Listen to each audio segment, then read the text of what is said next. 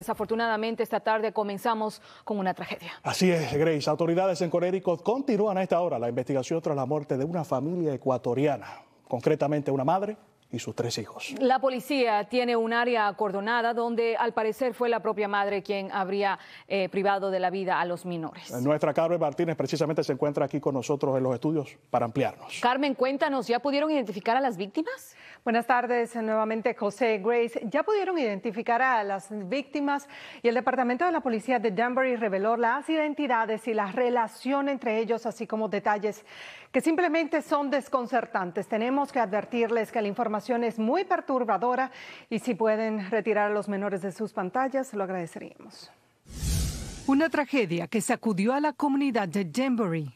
Um, anoche estaba carros por toda la calle, llenado toda la calle, toda la gente afuera de la casa, todos acá reunidos, personas llorando, um, había gente con teléfonos, um, carros, niños, todo, toda la calle, todo, todos estaban afuera y no sé, muy triste, muy triste.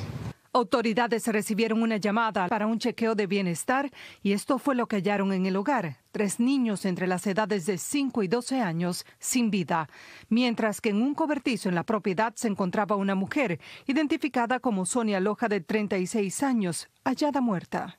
It was an extremely difficult time for uh, many of the officers, especially those who had to go inside.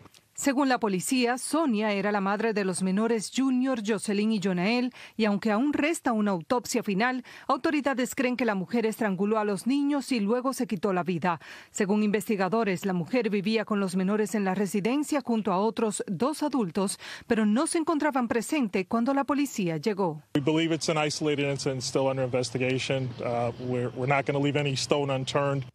La policía dijo que todos los niños parecen haber muerto por asfixia y que la supuesta causa de muerte de la madre es asfixia por ahorcamiento.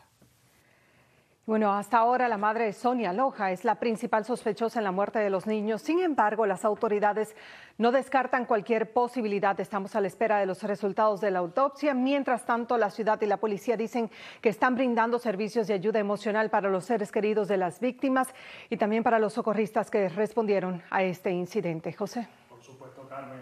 Por supuesto, Carmen, fortaleza para todas las partes implicadas.